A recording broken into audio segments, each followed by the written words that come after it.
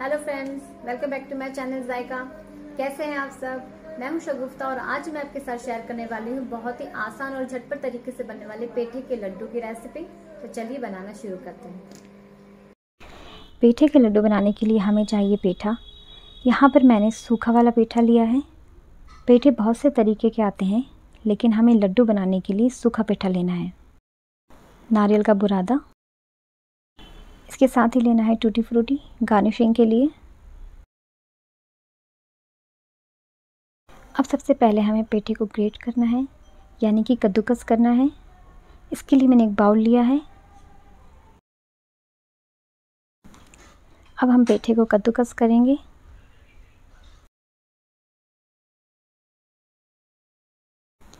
इसी तरह पेठे के सारे पीसेस को कद्दूकस कर लेंगे।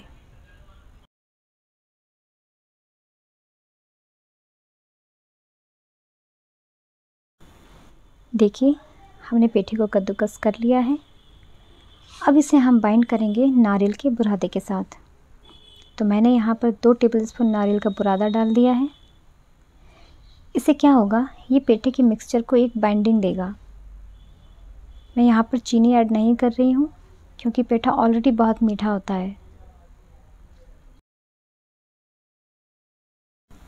अच्छी तरह मिक्स करेंगे।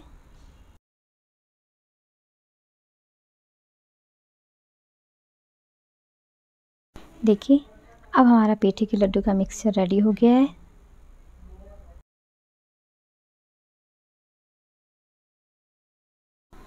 अब हम इसके बनाएँगे लड्डू। लड्डू का साइज़ आप अपने हिसाब से रख सकते हैं, छोटा या बड़ा।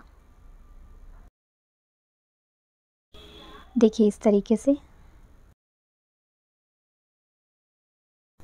अब हम इसे कोट करेंगे नारियल के बुरादे के साथ।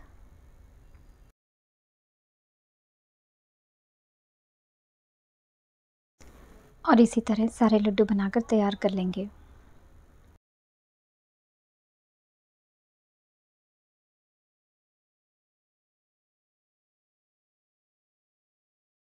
लीजिए, अब हमारे झटपट पेठे के लड्डू बनकर तैयार हैं।